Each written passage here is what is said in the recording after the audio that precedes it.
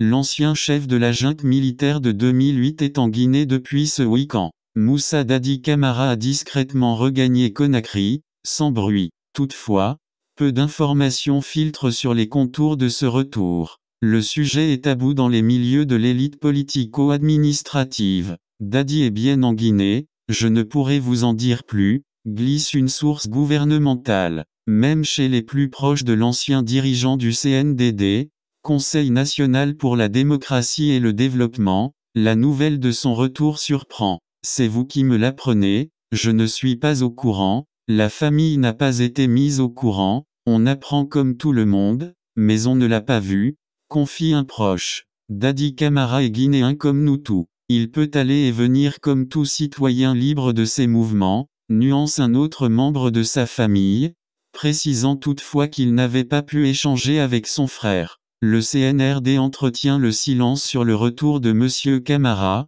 alors qu'en novembre dernier, il s'était amplement exprimé à travers une série de communiqués. Dans quel cadre l'ancien président est-il en Guinée? Combien de jours durera son séjour? Mystère. Cette fois-ci, la junte militaire au pouvoir, n'a encore rien dit. Arrivé au pouvoir en décembre 2008 par un coup d'État avec un groupe d'officiers, suite au décès du général Lansana Conté, le capitaine Moussa Dadi Camara a dirigé la Guinée pendant un an. Son règne éphémère avait été marqué par le terrible massacre du 28 septembre 2009, dossier dans lequel il est inculpé avec une dizaine de personnes dont des officiers de l'armée. Le 3 décembre de la même année, il avait été la cible d'un attentat de la part de son aide de Kantumba Diakité, lui aussi inculpé et écroué depuis 2015. Blessé à la tête, l'ex-homme fort de Conakry avait été évacué vers le royaume chérifien. Après son séjour médical éclair au Maroc,